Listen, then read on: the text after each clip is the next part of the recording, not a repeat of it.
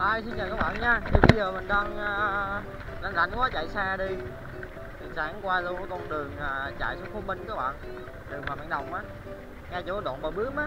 Các bạn nào thì trắng là biết bờ bướm hết á. Giờ mình sẵn tiện mình đi uh, dạo dạo cái đường này qua lại. Các bạn xem luôn. Đó bạn thấy phía trước là bờ bướm này tập hóa. Tập hóa cô bướm. Cô này là là, là, là cô thứ ba mà tại sao bướm mình không biết?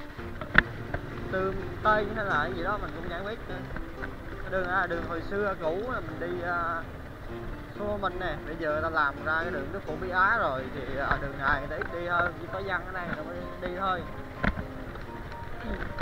Đường này mình có thể chạy ra đường à, uh, đánh đông được nha các bạn.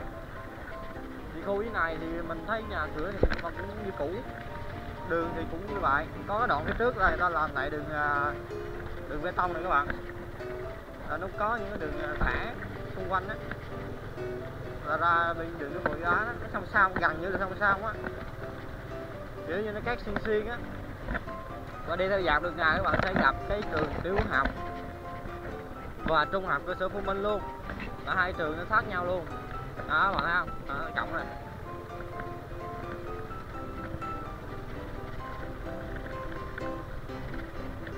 Ở dưới này tiệm sửa xe nhiều lắm hai ba chỗ là.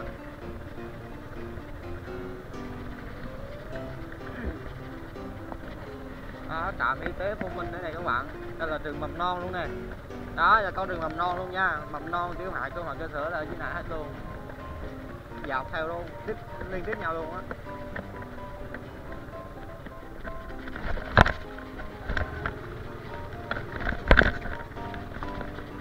Đây nó bắt qua một cái cầu.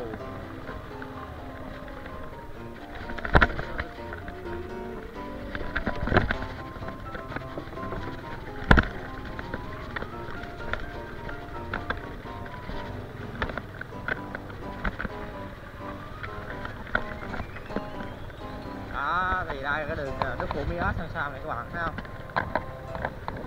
Bây giờ các bạn mà rẽ qua phải á, đi xuyên dốc lên dốc rẽ phải rồi lên cái đường cánh đông luôn. Còn nếu mà đi thẳng cái đường này thì nó là, chính là cái đường nước phụ mỹ á các bạn. Các bạn chạy đường này thẳng là ra tới Phú Minh luôn, tới cầu Phú Minh à, cầu gỗ á.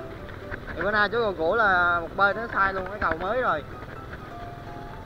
Thì đó, thì hôm nay mình nó, bây giờ nó quay xong cái đoạn đường này rồi, thì bây giờ mình sẽ tiến à, đoạn đường khác mình quay các bạn xem tiếp nha. Thì nếu bạn thấy video này hay khiến các bạn à, nhớ đến quê hương, có hình ảnh để mình xem lại. Còn nếu thích thì các bạn hãy like, share video và đăng ký kênh ủng hộ mình nha. Rồi, xin chào tạm biệt mọi người.